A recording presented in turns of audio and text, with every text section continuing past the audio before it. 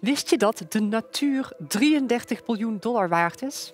Ik vertel je waarom. Hoe maak je natuur?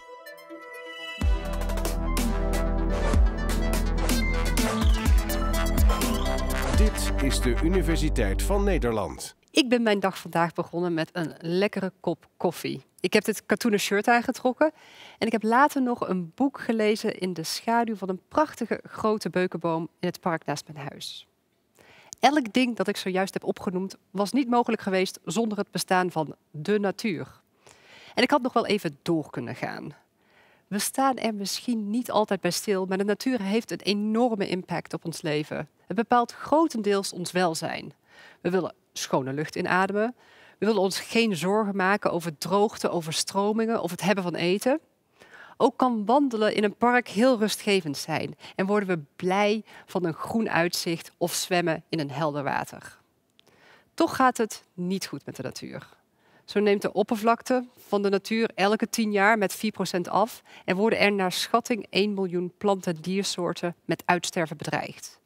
En dat komt veelal door de keuzes die wij als mensen maken, waarbij de natuur vaak aan het kortste eind trekt.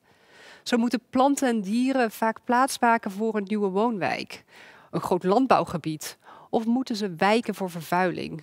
En dat is slecht nieuws voor de natuur, maar zeker ook voor ons, want die natuur hebben wij dus nodig. Maar gelukkig kan het ook anders. De kennis en invloed die wij hebben, kunnen we ook inzetten om soorten juist te beschermen en natuur te herstellen.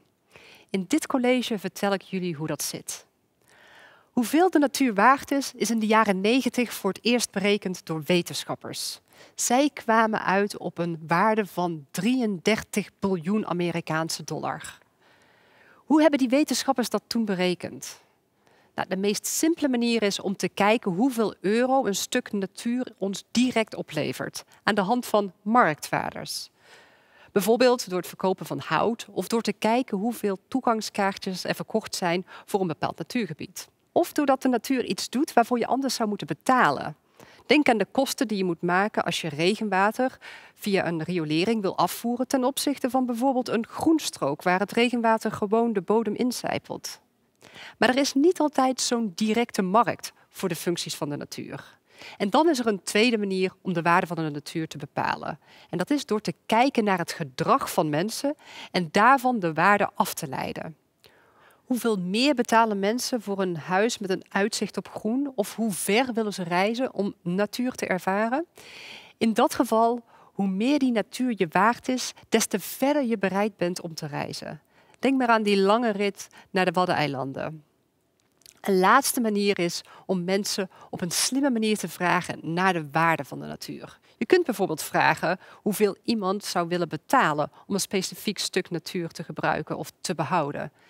Je kan die vraag ook omdraaien. Voor hoeveel geld zou jij bereid zijn dit stuk natuur op te geven? Op die manier kan je de waarde van de natuur in geld uitdrukken. Maar er zijn meerdere manieren om de waarde uit te rekenen. Elke methode probeert duidelijk te maken hoeveel en op welke manier de natuur bijdraagt aan het welzijn of de welvaart van mensen. Wat rekenen we nou precies mee als het gaat om de natuur? Zijn dat alleen de grote stukken oerbos of telt een park aangelegd door mensen ook mee? Voor mij is natuur alles wat leeft om ons heen. Als je wil bepalen wat de natuur voor ons betekent en welke waarden het heeft, moet je de natuur beschrijven op een manier die verder gaat dan dit is deze soort plant of dit is een stukje groen. Als ik naar de natuur kijk, dan maak ik een soort van vertaalslag naar wat al dat levende om ons heen betekent voor de mens. Ik zie geen boom, maar ik zie een soort van natuurlijke airconditioning voor de mens, want bomen zorgen voor verkoeling. Ik zie geen riet, maar ik zie een waterfilter. Ik zie houtproductie, voedsel, een plek om te ontspannen. Elk stukje natuur heeft andere functies voor de mens en vaak ook verschillende. Deze functies noemen wij ecosysteemdiensten. Om het overzichtelijk te houden, kunnen deze simpel gezegd in drie groepen worden opgedeeld. In functies die te maken hebben met één, het produceren van materiaal. Denk aan uh, hout en fruit en groenten. Twee, het reguleren van de omgeving, zoals het bevruchten van fruitbomen door insecten of het voorkomen van overstromingen. De bladeren en wortels van planten zorgen er namelijk voor dat het water langzaam de grond in kan trekken, waardoor niet alles in één keer naar één plek stroomt. En een derde groep van ecosysteemdiensten gaat over de rol van de natuur in het creëren van ervaringen.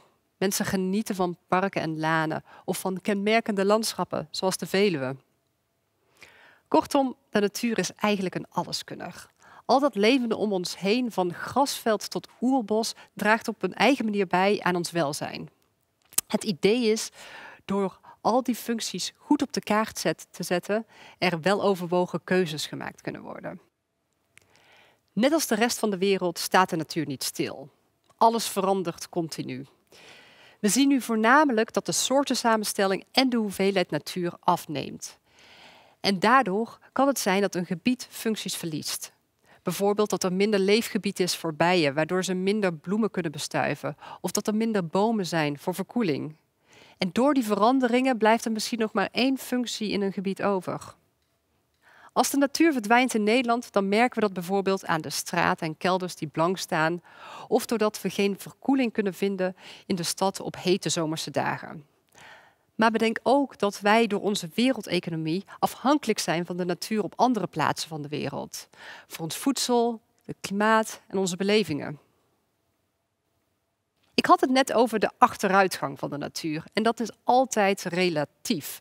Want je moet de situatie zoals die nu is altijd vergelijken met een moment uit het verleden. Maar welk punt kies je dan? Ga je vergelijken met gisteren of hoe het was ten tijde van de industriële revolutie? Of op met het moment dat, het, dat, dat, dat voor het eerst mensen op aarde rondliepen? Dat referentiepunt moet je heel duidelijk hebben. Het is niet alleen belangrijk om te bepalen hoeveel iets veranderd is, maar ook om de oorzaak van die verandering te ontdekken. Dit soort analyses zijn belangrijk als je wil gaan kijken naar hoe je de situatie weer beter kan maken.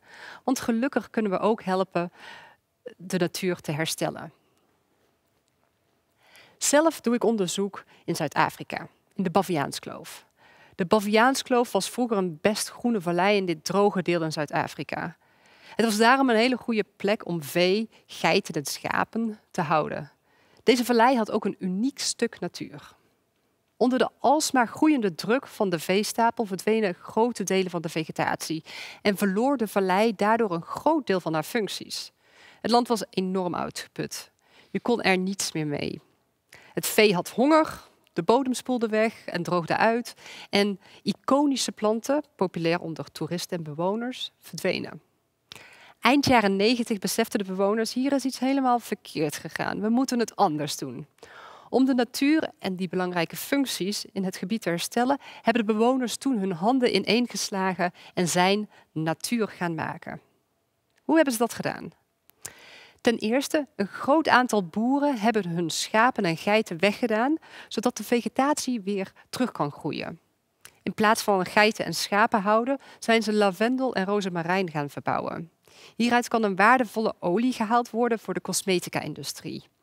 Een bijkomend voordeel is dat rozemarijn en lavendel maar weinig water en kunstmest nodig hebben. Daarnaast zijn er op meer dan duizend hectare jonge lokale boompjes geplant. Wij als onderzoekers houden nu heel goed in de gaten hoe dit gebied zich aan het ontwikkelen is.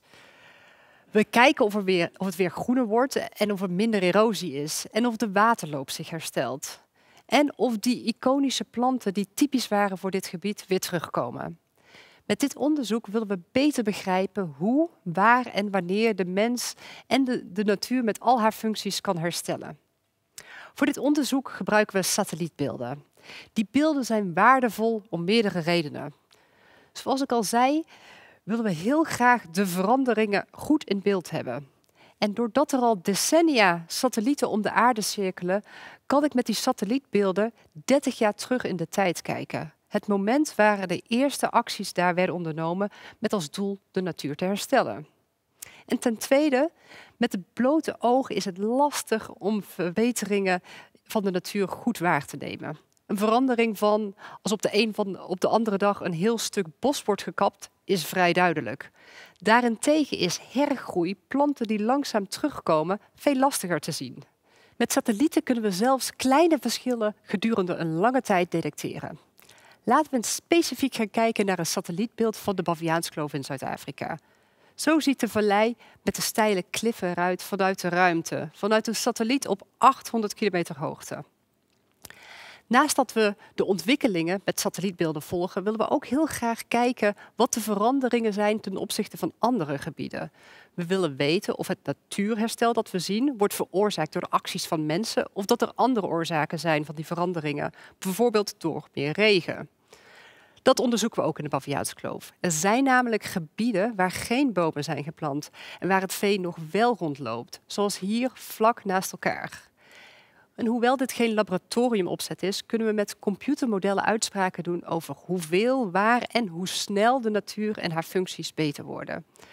Dat zie je voor het gebied van de fotonet hier op dit satellietbeeld, waar rechts natuurherstel heeft plaatsgevonden en links niet. Met het computermodel zijn we heel gedetailleerd vergelijkingen gaan maken waar deze kaart uitkwam. De gele plekken duiden op een stuk land waar maar weinig effect te zien is na het ingrijpen van de mens, terwijl de groene plekken juist een sterk positief natuurherstel laten zien. Dit soort uitkomsten geven ons veel inzicht over hoe wij natuur kunnen maken. De natuur hebben we nodig en investeren in natuurherstel is het waard. Gelukkig ziet de Verenigde Naties dat belang ook. Vandaar de Decade on Restoration. Vanaf nu is er tien jaar wereldwijd aandacht voor het herstellen van natuur. En voor het maken van de natuur gaan consumenten, producenten, onderzoekers en organisaties samen aan de slag. Dus hoe kan jij zelf natuur maken? Kijk hoe jij, net als wat ze daar in Zuid-Afrika deden, de, de druk op de natuur kan verminderen. Geef de natuur de ruimte. Wip tegels uit je tuin, zet planten neer op je balkon voor een beetje verkoeling en blijdschap. Maak er wat moois van. Dank voor het luisteren.